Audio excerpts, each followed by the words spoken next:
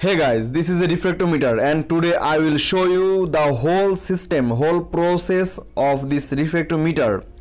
Uh, friends, uh, you may know this refractometer is used for measuring the solid content, percentage of solid content of any liquid. It may be juice, it may be any chemi liquid chemical.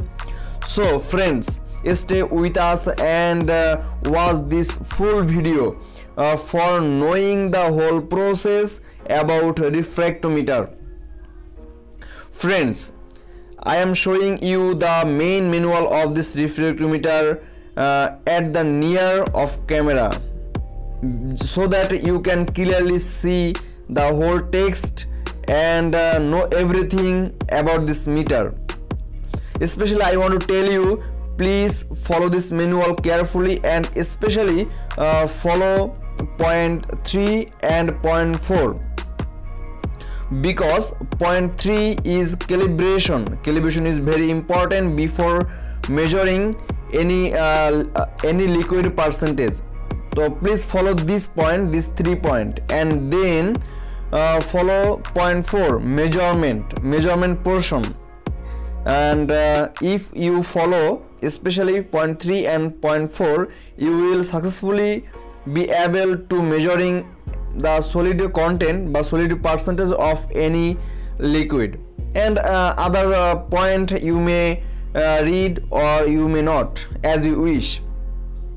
Especially i uh, i recommend uh, to follow point 3 and point 4 and uh, if you want to know more about refractometer about uh, especially from a to z you may read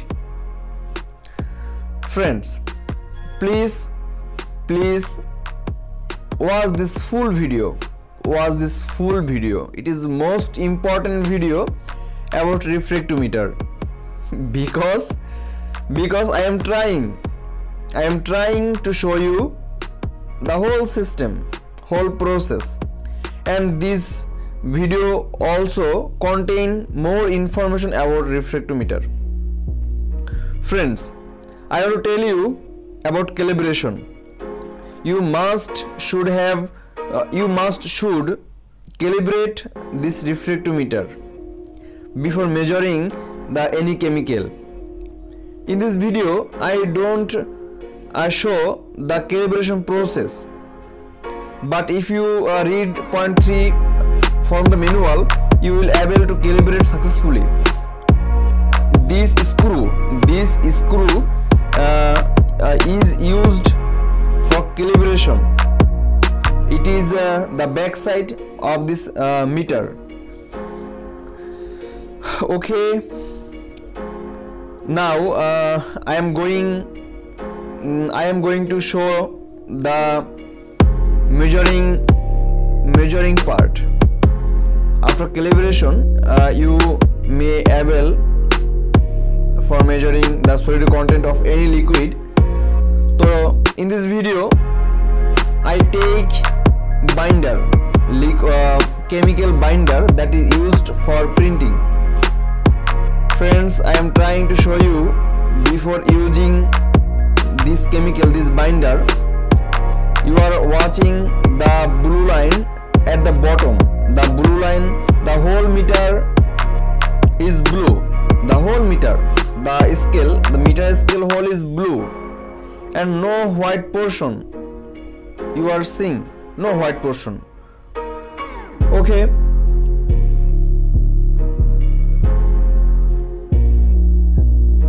okay i am giving i am uh, giving the liquid binder using my finger.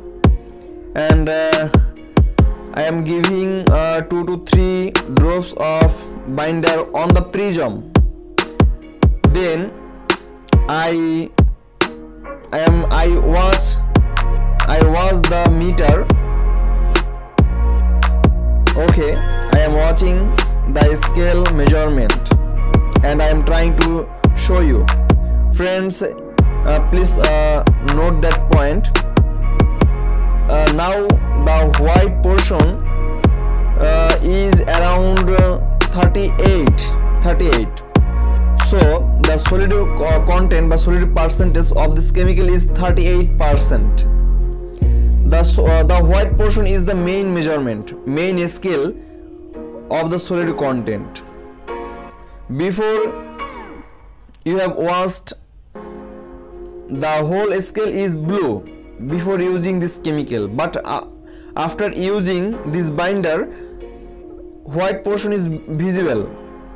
White portion is uh, visible and uh, it's almost 38 38 so we may uh, tell the solid content of this chemical is 38 percent. After using this chemical we should uh, clean the prism using using fresh water. Fresh water.